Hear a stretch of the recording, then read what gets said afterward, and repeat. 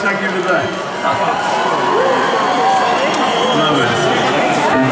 Okay, here's one for the Wings fans.